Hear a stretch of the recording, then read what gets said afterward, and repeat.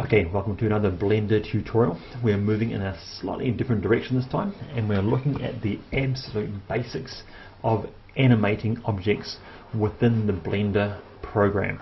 Okay, what is animation? Well, animation is moving things over time. If you see this little clock down here, that one there is called the timeline bar um, and what it basically shows is where I am in time. Here, the time is starting at 1 and ending at 250. You may be thinking to yourself, 250, 250 what? Is that seconds? Well, in this case here, no, it's not. This is actually a series of like photographs of frames. Okay, starting at frame number one, and it's going to move through a series of pictures that will seem like our object is moving from one place to another. For example, frame 1 might be there, frame 2 might be there, frame 3 there, frame 4 there, frame 5 there, frame 6 there, frame 7 there, and so on and so on and so on. And if we press the play button down here on our on our timeline, you'd see the object whoosh and zoom off into space along that direction. Now, oh, we won't go into what you know frames per second yet. Basically, it's like the speed of showing the photos. What we're going to do is we're just going to press, for example, Alt A right now, and as you can see, the bar is zipping along the bottom. Okay, and that's actually showing up here the frames and what's happening over time. As you can tell already, nothing's happening. That's because we haven't got any movement happening inside this window just yet. We can fix that. And let me show you how. Okay, frame number one. See, frame number one right there. Okay, we are going to set the position of this cube right there. So I'm going to press the I key and then I'm going to select location. What I've done right now is at frame number one I've set the location of this object right there. Okay, excellent. What I can then go is over to frame 40. Oh, see how I just clicked in there and it went not quite to 40? I can type in there 40 and get exactly right on 40 and then I can move the object along. Let's say the um, the y-axis see the little y down there? And then I can go I location.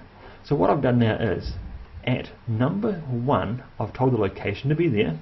At number 40 I've told it to be there. And after that it's got no more instructions. It just keeps on staying there forever. So let's say 80 we're going to um, um, drag it upwards and backwards. And then I'm going to press the I key for there. Uh, location. Now, let's grab the bar. Note what happens. Even though I dragged it upwards and backwards, it just went from there straight to there. That's because if I wanted to drag it up there first and across there, I would need to go through and set a keyframe there, drag it up to there, set something there, and then from there set it over to there. In three different times. One time, two times. Well, I guess that's two times. Okay. So if we press, go back to here now, and press play, or Alt A, you can see that the animation is occurring. Exactly how we set it. Okay. That's the absolute basics.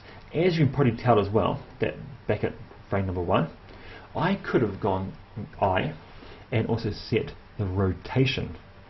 And then go on to number 80 and okay when you see that rotation tool there I could rotate it. Actually let's not use that.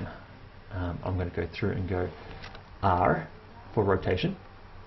I want to fix it along the y-axis so it's going to spin around that.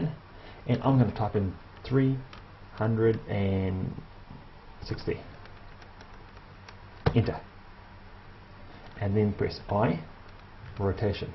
Well, I've got a funny feeling that if I go back now, I know it is turning around, that's great.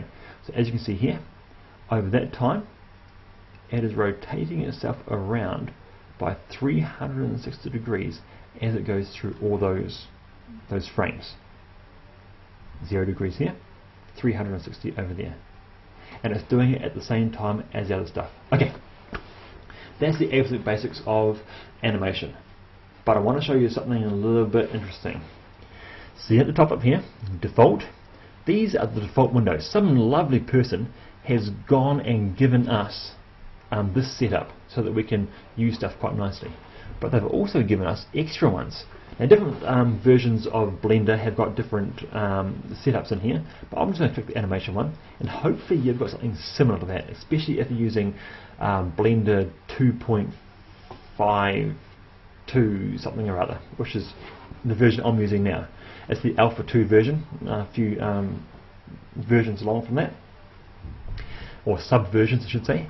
Now, as you can see here, what I've got is I have got a few extra windows, as I said, so I had to pause the video and I'll just come back to you.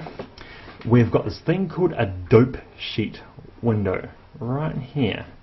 We've got um, can't remember the name of that one there so I'll just click on that. It is the graph editor right here. Ooh, if you love graphs, this is the place for you. Anything like me and uh, slightly mathematically challenged, even though I teach maths, hmm, yes, um, then you'll find this um, not so interesting. Okay, really cool key. Watch this. If I hover over a window and press Shift Spacebar, that single window will now blow up to fill up the whole screen. Shift Spacebar, bring back in. I'm going to Shift Spacebar this um, this uh, graphs editor right here, and as you can see, this shows us a beautiful graph of what is happening to my objects over time. See down here? Um, we've got like 1 and we're going right up to let's say 100 or 80. Now along the way we've gone through and we've put these keyframes in.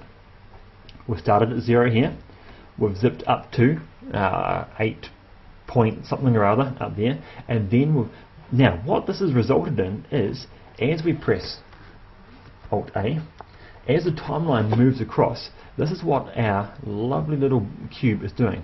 It's going upwards in this direction along the green y-axis, then it's going downwards along the y-axis, and then it stays in the same place. Z-axis, it goes along, up along the z-axis, and then moving along. Now, you may be thinking, man, what is this axis thing again? Well, the axes are these things here. Y is going in that direction, Z is going up and down, and X is Notice our x was never changing. That's because we never pulled our cube in any of those directions. Okay, I want to show you another really cool key. Let's shift spacebar back into here again. The home key. What happens when I press it? The home key makes you zoom in to the important parts of your graph. In other words, the parts that you've added. I can then zoom like normal by rolling my mouse button up and down, my middle mouse button. I can go through and press the um, whole heap of different things in here. Like for example, if I click here and press the G key for grab, I can actually move it around. Isn't that awesome? Okay, so I can actually move the Y location up and down in there. Okay, notice as well, there's other things in there too, like the um, Oh, the Y rotation. Oh, that's a good point. That green bar there is not actually the Y location, it's actually the Y rotation because as you can see there, that's 360. Oops, well at least it was before I changed it. So I'm going to undo, bring up to 360 again. Oh, Control Z by the way to undo, and you've got it. Okay, watch this. I'm pressing the B for border select and you can select things just like you normally did before as well. Oops, escape. B for border select. And you can go through and select different things and then drag them, grab and drag them around. How's that? S for scale. I don't know if rotate does anything. I'm not even going to try that. I hope that's made a bit of sense. We're going to go through and look up some more detailed animation stuff later as in, in other words, in the next tutorial. But that's the absolute basics for now. Okay, have a good day.